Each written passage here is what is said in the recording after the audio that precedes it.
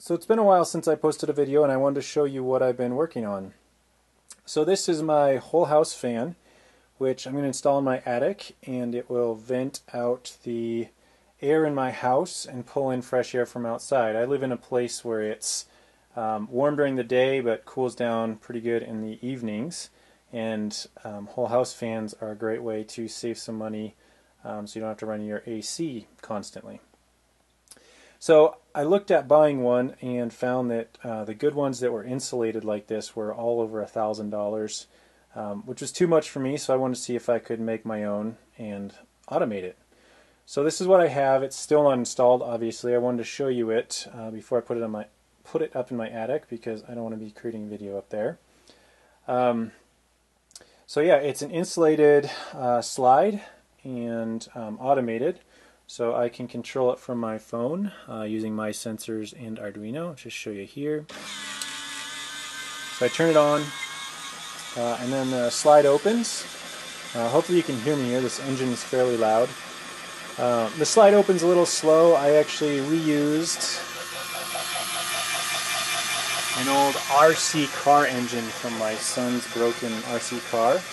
Um, so if I were to do it again, I'd probably get a 600 to 800 RPM motor. I think this one's around 300. It's just a little bit slow, but it's free and it works. So you can see here I have a LCD screen and then this button here I can also control it on and off from there. Um, I don't know if you can tell but I have the temperature, date time, and then the status. Uh, and when this turns on I also have an energy monitoring um, status in there as well that will also send to my uh, controller. Will send the energy there. So it's about to hit the end here.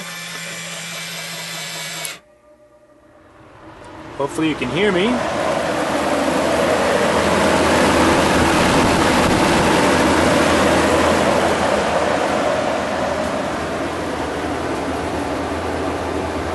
So here's the wattage. When it first turns on, it's a little bit inaccurate. Uh, after it's been running for a minute though it updates and it's very accurate. I tested with my little Kill A Watt there. It's very accurate.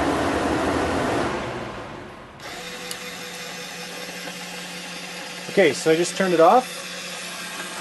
You can see here it still says it's running but it's closing the cover.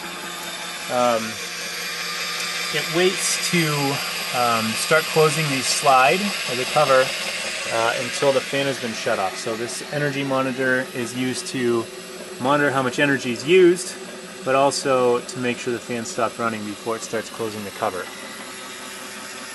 Uh, you can see here a little bit, I used drawer slides, just standard kitchen cabinet drawers or whatever drawer slides. Um, I'll post some more about how I actually built this. Uh, I got a little bearing here with some threaded rod. Just spins and then closes. This here is this fuel line to join the engine with the threaded rod. And it's about to hit the end here. And there we go. Turns off. Sends the state is closed. Uh, other things we have here, we have a, a monitor here to monitor the current used by the engine. If it gets uh, excessive, um, it actually shuts off just as safety. There's also a runtime safety. So if it um, runs for too long, maybe it slips off the, the coupling here or something, it'll shut off after a customizable time. So for me, I think it's around 70 seconds. Uh, we have a DHT22 here, temperature humidity sensor, so we can see how warm it is in the attic. Um, obviously the radio and the Arduino. It's just running off a Pro Mini. Uh, and then the LCD. So now that it's stopped, you can see it changed its state to idle here, or its status. Um, back here, let me just show you. I have this uh, turning on and off with a uh, microwave, I guess, radar sensor. Basically, it senses motion and then turns on or off the LCD. So save a little energy that way.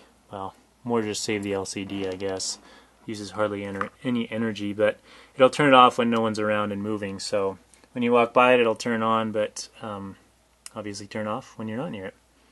So I've had my whole house fan installed for over a month and I wanted to show you what it looks like. Uh, I have made a couple of modifications to it so I'm going to point those out as well.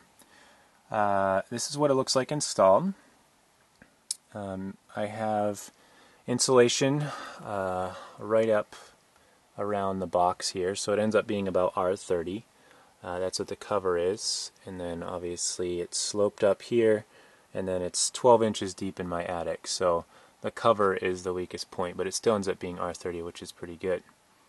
Um, you can see probably the most obvious addition here is my flexible ductwork I installed, and then the fan is over there. It's only about six feet long, and um, the reason I added this is it was it was too loud with the fan mounted right on top as I was originally designing and hoping that it would work. Um, it was it was just too loud uh, when I added the ductwork, just six feet of it, it's amazing how much quieter it is. So we can run this at night or, you know, during the day when there's conversations if it's cool enough out and you barely hear it. If you have internal HVAC, it is just a little bit louder than the, the fan on that.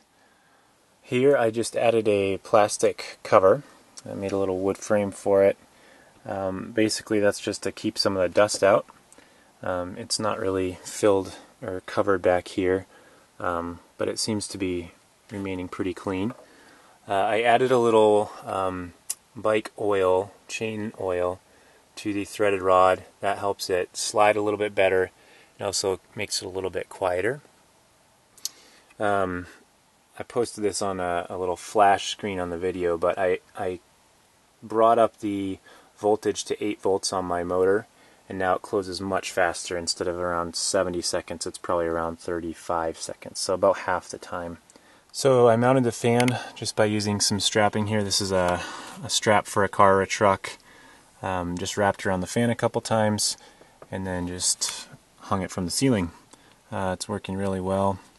Uh, helps it float a little bit um, so there's no vibrations passed down through the, the walls uh, and then I just taped on using some Tyvek tape, um, tape that you use for insulation, uh, rigid foam insulation on your house. I'm sure other tape would work, but this is really good tape. Um, so it's just holding the ductwork to the fan. The ductwork is just slightly smaller, so it wouldn't fit all the way around, so I just taped it, and it's holding up really well so far. This is my LCD cable here. It's just a Cat5 cable, um, and it just runs down, drill the hole into my ceiling, runs down my wall, and I'll show you that in a second. Just want to show you quickly what the plastic cover looks like. Just cover it with a board. It's just held on there. It's not stapled or nailed or anything. Uh, it holds up just fine. So here's the LCD mounted to the wall. And then going up, here is the air intake. The grate is just for a fluorescent light for an office. Uh, I got it at my local uh, home goods store, Home Depot, and just cut it down so it works as a great air intake. Um, and then uh, just shine a flashlight up here so you can see a little bit. There is the insulated cover that opens and closes. And that is it. Okay, before I end the video, I wanted to go over the code really quick here. So you're going to need to add these libraries, most of which will come with MySensors when you install it. Um, the Adafruit ones will not though, so you can add those by going to Sketch, Include Library, and Manage Libraries and then you can search for them here and install them. If you want, you can change the node ID, the sketch name, create a repeating node if you want. Further down, we have TFT display on. So if you're going to do any debugging or troubleshooting, you're going to want to comment this out and then uncomment the debug. Uh, you can't have both of them on at the same time because the code is too large and it won't compile on a standard Arduino. Further down we have the stall values which you're going to need to customize for your motor that you're using. So the stall values are there to kill power to your slide motor uh, if it stalls out so it doesn't burn it out or cause other issues uh, by keep trying to close or open it if it's stalled out. So what you're going to need to do is take a reading of the ACS 712 and then clamp down the shaft with your fingers or some other device so it stops moving and then read that value uh, you need to do this for both opening and closing and then you're going to want to enter that value into the, the code here just slightly less than what it actually stalled out at. So during normal closing, um, it'll keep on running and it'll be fine. But if it stalls out, it'll go past this value in the code and then stop your motor and send an error message. The next is a cover limit time. Um, this will stop the motor from turning if it's exceeded that time. So you're going to want to set it just slightly over the standard close time. And this is just a safety to stop it from running endlessly if, if it, for whatever reason, falls off the coupling or just keeps on running.